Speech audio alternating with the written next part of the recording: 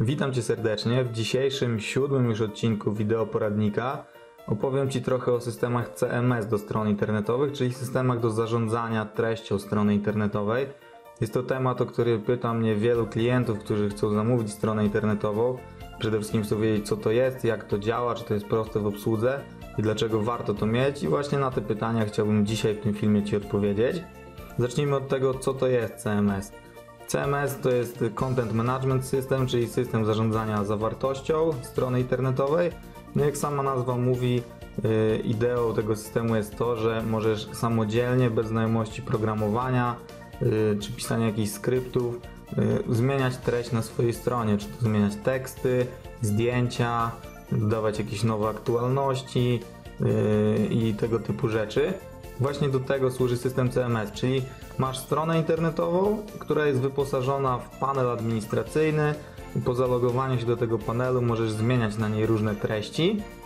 I teraz są dostępne różne rodzaje tych panelów administracyjnych, ale ogólnie o podziale e, jakie są CMS-y i jaki konkretnie warto wybrać opowiem Ci w kolejnym odcinku, na który zapraszam. A dzisiaj chciałbym pokazać Ci pokrótce jak to działa, czyli e, krok po kroku jak zalogować się do takiego systemu, jak wprowadzić tam zmiany, dodać coś, zmienić menu na przykład, ponieważ y, wielu klientów, którzy mnie o to pytają, zastanawia się, czy to jest trudne, czy oni sobie z tym poradzą i tak dalej, więc właśnie teraz chcę Ci pokazać, jak bardzo to jest proste.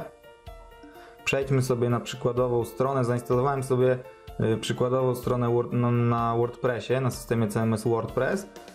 Y, znajdziesz ją pod tym adresem arturkosiński.pl, ukośnik klienci, ukośnik WordPress. Jeśli będziesz chciał sam tą stronę potestować, to odezwij się do mnie. Na mojej stronie znajdziesz dane kontaktowe, a udostępnię Ci ten panel administracyjny. I teraz, aby zalogować się do takiego przykładowego WordPressa, generalnie do systemów CMS, zawsze do końca y, adresu Twojej strony internetowej musisz dopisać jakąś nazwę, na przykład admin, user y, lub coś takiego. W przypadku WordPressa jest to zazwyczaj wp-admin i w tym momencie logujesz się do panelu po zalogowaniu. Tak wygląda kokpit administracyjny WordPressa. Na pierwszy rzut oka jest tu trochę dużo informacji, może to być yy, przerażające, jeśli ktoś nie zna się na tym. Natomiast tak naprawdę na co dzień korzysta się z dosłownie kilku funkcji tego systemu yy, i spróbujemy sobie teraz coś tutaj zrobić. Mam tutaj podgląd mojej strony, jeśli jestem zalogowany na górze mam też ten panel administracyjny, z którego mogę też szybko coś dodać.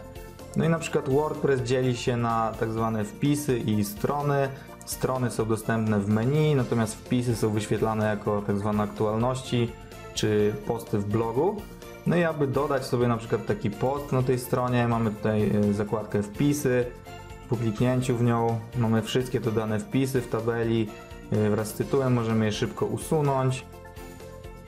E, mamy też te informacje o kategoriach, kto jest autorem, jeżeli jest kilku użytkowników na stronie. No jeżeli chcemy dodać nowy wpis, tak właśnie wygląda edytor WordPressa. Skopiuję sobie tu kilka linijek i teraz yy, to jest dokładnie to, jak możemy zarządzać tekstem na stronie. Można sobie to rozszerzyć i na przykład można coś pogrubić, pochylić, zrobić z czegoś zrobić z czegoś listę wypunktowaną, yy, oznaczyć coś jako cytat, zmienić kolor na przykład jakiegoś tekstu, yy, wyrównać coś do środka, do prawej, podłączyć link pod jakiś element, na przykład coś takiego. Ta, ten wyraz teraz będzie podlinkowany.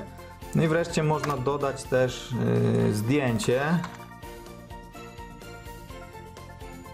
Y, tutaj mam taki guzik dodaj medium, klikam w niego sobie i mam od razu informację dodaj pliki oraz bibliotekę wcześniej dodanych plików. Jeszcze tu nic nie dodawałem, bo to świeża instalacja, dlatego tu nic nie ma. W każdym razie przeciągam sobie z pulpitu po prostu jakiś plik, czekam aż on się załaduje. Mogę tu wybrać jego rozmiar, wybiorę sobie jako średni i wstaw do wpisu. W tym momencie to jest już gotowe. Po opublikowaniu takiego wpisu gdy przejdę sobie, na, mogę tutaj sobie go zobaczyć, jak przejdę na moją stronę i odświeżę, to tamten poprzedni zniknął, bo go usunąłem, a tutaj mam tą treść, którą właśnie edytowałem. Jak widzisz, to wszystko y, działa tak jak należy. Y, Można też na przykład dodać sobie stronę do menu w zakładce strony,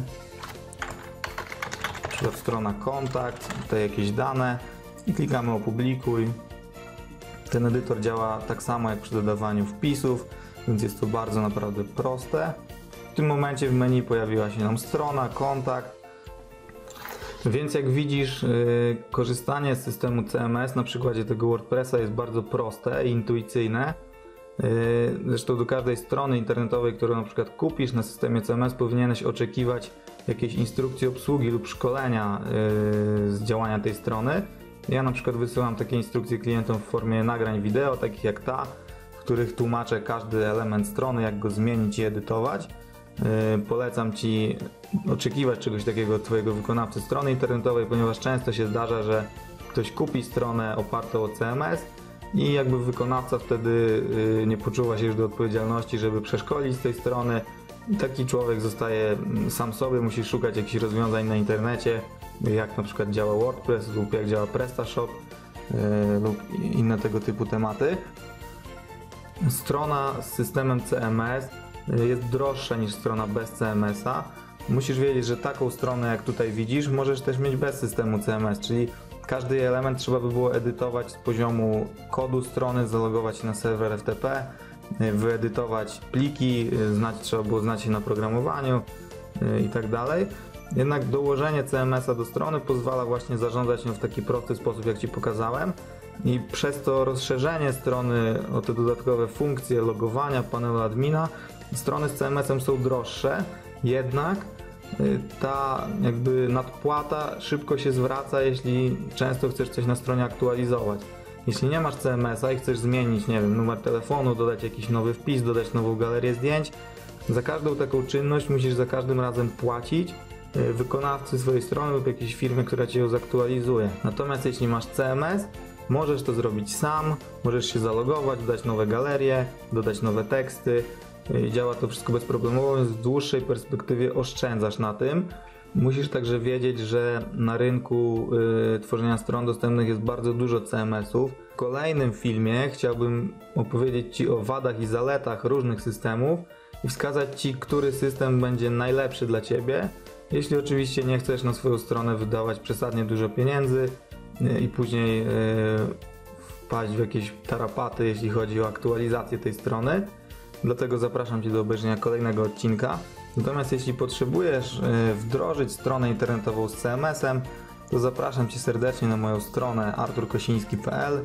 Y, Tutaj w menu w zakładce kontakt możesz się z nami skontaktować y, i na pewno wspólnie stworzymy jakiś ciekawy projekt. Natomiast jeśli ten film Ci się podobał, mam do Ciebie trzy prośby. Jeśli oglądasz go na moim blogu, czyli dokładnie tutaj, na dole możesz zapisać się na newsletter w tej czerwonej ramce. Y, Odbiorcy tego newslettera jako pierwsi dostają informacje o nowych filmach, także zapraszam Cię do zapisania się. Polub także mojego Facebooka, facebook.com kośnik arturkosiński.pl, a także zasubskrybuj mój kanał na YouTubie, a będziesz na bieżąco ze wszystkimi nowymi materiałami wideo. Tymczasem dziękuję Ci za uwagę i do usłyszenia już w kolejnym odcinku.